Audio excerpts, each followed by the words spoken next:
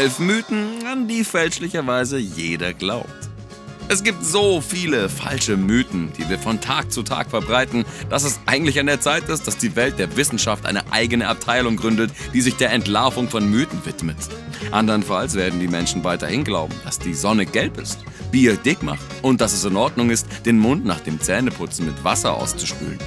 Schau dir dieses Video an, um zu sehen, wie einige der akzeptiertesten Fakten völlig falsch sind. Ach und außerdem, vergiss nicht auf Abonnieren zu klicken und die kleine Glocke zu läuten, denn so kommst du mit uns auf die Sonnenseite des Lebens. Los geht's! Mythos Nummer 11. Bestimmte Teile der Zunge sind nur für einen bestimmten Geschmack empfindlich. Zu Beginn des 20. Jahrhunderts kam der deutsche Wissenschaftler D.P. Hanig zu dem Schluss, dass verschiedene Teile der Zunge gleichermaßen in der Lage sind, den Geschmack zu bestimmen, obwohl die Reaktionsgeschwindigkeit etwas unterschiedlich ist. Nach jahrelanger Forschung bestätigten Wissenschaftler diese Aussage. Also, wie ist dieser Mythos entstanden? Es stellt sich heraus, dass Edwin Boring, ein Psychologe an der Harvard University, einen Fehler gemacht hat, als er die Werke des deutschen Wissenschaftlers übersetzte. Dieser Fehler veranlasste jeden zu glauben, dass die Spitze der Zunge süße Speisen schmecken kann, die Rückseite der Zunge bittere Speisen und die Seitenteile saure und salzige Speisen schmecken können. Mythos Nummer 10. Männer bekommen Bierbäuche vom Bier. Gib dem Bier nicht die Schuld für deinen Bauch. Es wird allgemein angenommen, dass Männer, die ständig Bier trinken, am Ende einen vorstehenden Bierbauch haben. Aber nicht das Bier ist dafür verantwortlich, sondern die Fülle an ungesundem Essen, die oft mit dem berauschenden Getränk einhergehen. Der Alkohol im Bier reizt die Magenschleimhaut und verursacht so einen erhöhten Appetit. Aber das ist noch nicht alles. Dr. Michael Jensen, ein Endokrinologe und Spezialist für Fettleibigkeit an der Mayo Klinik in Minnesota, USA, sagt, dass Bierkonsum die Leber dazu bringt, Alkohol statt Fett zu verbrennen, sodass sich letzteres in der Taille ansammelt. Und warum genau das? Aufgrund der physiologischen Eigenschaft von Männern wird Fett im Bauchbereich gespeichert. Bei Frauen sammelt es sich in den Hüften und im Gesäß an. Mythos Nummer 9. Hunde sehen die Welt in Schwarz-Weiß. Als wir Kinder waren, wurde den meisten von uns gesagt, dass Hunde die Welt schwarz-weiß sehen. Die Wahrheit ist, dass sie Farben unterscheiden können, nur nicht so, wie wir es tun. Jay Knights von der University of Washington in Seattle bewies, dass unsere pelzigen Freunde in der Lage sind, eine begrenzte Farbpalette wahrzunehmen. Das heißt, sie können Objekte gleicher Form unterscheiden. Im Allgemeinen ist die Sicht eines Hundes sehr ähnlich wie die einer Person mit Rot-Grün-Blindheit. Mythos Nummer 8. Karotten verbessern das Sehvermögen. Dieser Mythos entstand während des Zweiten Weltkriegs. Die britische Armee behauptete, dass Kampfpiloten aufgrund des Verzehrs großer Mengen an Karotten eine ausgezeichnete Nachtsicht hätten. Tatsächlich hatte das britische Flugzeug ein Radar an Bord, das es schneller und einfacher machte, den Feind zu erkennen. Die Botschaft über die wundersame Kraft der Karotten wurde von den Medien erfunden und verbreitet, sodass Feinde nichts über diese neuen Technologien zur Erkennung von Flugzeugen erfahren konnten. Der Mythos wurde so populär, dass er sich über die ganze Welt verbreitet hat und viele Menschen glauben immer noch, dass das Essen von Karotten dazu beiträgt, die Sehkraft zu verbessern. Mythos Nummer 7.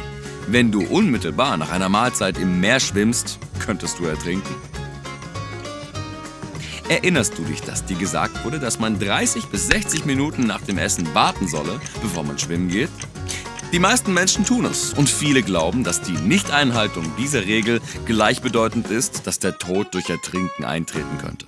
Aber glücklicherweise ist dies nicht der Fall, da es bis heute keinen einzigen registrierten Fall von Ertrinken wegen einer kürzlich stattgefundenen Mahlzeit gibt. Aber es ist erwähnenswert, dass das Schwimmen nach einer Mahlzeit ein unangenehmes Gefühl im Magen verursachen kann. Aber das ist wahrscheinlich nicht gefährlich und schon gar nicht lebensbedrohlich. Mythos Nummer 6. Wenn du ein graues Haar herausziehst, wachsen zwei graue Haare nach. Irgendwie ist die Welt überzeugt davon, dass wenn man ein graues Haar herauszieht, es zwei neue ersetzen wird. In Wirklichkeit, wenn du ein graues Haar herausziehst, wird ein graues Haar es ersetzen. Aber nur eins, nicht zwei. Randy Schüller, Kosmetologe und Chefredakteur des Blogs The Beauty Brains, sagt, dass das Haar wieder nachwachsen wird, da der Haarfollikel, also die Haarscheide, die die Haarwurzel sackförmig umgibt, erhalten bleibt. Mythos Nummer 5. Dein Körper wird im Weltraum explodieren. So schnell wie die Technologie heutzutage voranschreitet, ist es durchaus möglich, dass du bereits zu deinen Lebzeiten noch Tickets ins All buchen kannst. Also, lass uns daher jetzt eine unbegründete Angst aus dem Weg räumen, nämlich die Angst vor einer Explosion im Weltraum. Sie sollte nicht das sein, was dich zurückhalten könnte. Denn du wirst nicht sofort explodieren, sobald du da hinausgehst. Nach etwa 30 Sekunden wirst du jedoch nicht mehr atmen können, weil es keinen Sauerstoff gibt. Stell also sicher, dass dein Weltraum-Tourpaket einen Schutzanzug und viel, viel Sauerstoff enthält. Mythos Nummer 4. Die Sonne ist gelb? Nimm dir eine Sekunde Zeit, um dich an all deine Kindheitszeichnungen zu erinnern. Die grünen Hügel, die hohen Bäume, den blauen Himmel und was noch? Oh, die gelbe Sonne. Es mag schwer zu glauben sein, aber die Sonne ist überhaupt nicht gelb. Ja, sie kann gelb aussehen. Das Sonnenlicht erscheint gelb. Und wenn die Sonne scheint, sieht alles, naja, viel mehr gelblich aus. Also, welche Farbe hat sie dann? Es ist eigentlich weiß. Die Sonne erscheint uns dank unserer Atmosphäre gelb. Sterne, die eine Temperatur von 10.000 Kelvin haben, das sind 9.727 Grad Celsius, sind blau. Sterne, die einige tausend Kelvin haben, sind rot. Die Temperatur der Sonne liegt irgendwo dazwischen und deshalb wissen wir, dass sie eine deutlich weiße Farbe hat. Mythos Nummer 3. Man kann sexual übertragbare Infektionen, STI, von einem Toilettensitz bekommen. Öffentliche Toiletten gibt es in allen Formen und Größen und leider auch in allen möglichen hygienischen Bedingungen, die nicht immer zufriedenstellend sind. Die gute Nachricht ist, dass du die Toilettensitze nicht so sehr fürchten musst, wie du es vielleicht tust. Denn die Keime haben einen viel besseren Ort zum Spielen gefunden. Türgriffe und Badezimmerböden.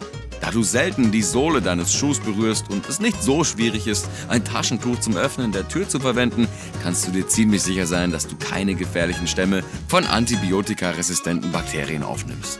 Die meisten krankheitsträchtigen Organismen sterben bereits nach kurzer Zeit außerhalb des Körpers, sodass du keine Angst haben musst, sexual übertragbare Infektionen von einem Toilettensitz auszubekommen. Was du jedoch unbedingt tun solltest, ist nach der Benutzung einer öffentlichen Toilette die Hände zu waschen, da der Grippevirus auf bestimmten Oberflächen bis zu 48 Stunden leben kann. Er könnte ganz einfach auf dich an einem Türgriff warten. Mythos Nummer 2. Du solltest deinen Mund nach dem Zähneputzen ausspülen. Warte mal, was? Aber wir haben uns doch unser ganzes Leben lang die Zähne geputzt und jetzt stellt sich heraus, dass wir es falsch gemacht haben. Na gut, besser spät als nie. Der Grund, warum du deinen Mund nicht gleich nach dem Zähneputzen mit Wasser ausspülen solltest, ist, dass es dazu führen kann, dass das Fluorid der Zahnpasta weggespült wird. Fluorid bildet einen Film über deine Zähne und es hilft, die Zähne vor dem Verfall zu bewahren. Anstatt Wasser zu verwenden, ist es am besten, eine alkoholfreie Mundspülung mit Fluorid zu verwenden, um den Zahnpastaschaum nach dem Zähneputzen auszuspülen. Mythos Nummer 1. Wenn du deine Haare rasierst, wachsen sie dunkler und dicker nach. Vielen Mädchen im Teenageralter wird gesagt, dass das Rasieren der Beine dazu führt, dass die Haare dunkler, dicker und schneller nachwachsen. okay. Laut Kurt Stan, einem Biologen, der seit über 30 Jahren Haare studiert und das Buch Hair, A Human History geschrieben hat, schreibt, dass diese Tatsache nicht belegt werden kann. Puh. Ein Rasierapparat entfernt einfach dünne, ausgebleichte Haare und hinterlässt dicke Basen. Wenn sie weiter wachsen, scheint es, dass das neue Haar dunkler und dicker geworden ist, aber mit der Zeit wachsen diese dicken Haare und werden so dünn, wie sie ursprünglich waren. Und waren diese Mythen ein Teil deines Lebens? Wie fühlst du dich jetzt, wo du weißt, dass sie nicht wahr sind? Schreib's unten in die Comments. Das Video hat dir gefallen? Gib uns ein Däumchen hoch und klick auf Abonnieren, denn so kommst du mit uns auf die Sonnenseite des Lebens. Wir sehen uns da.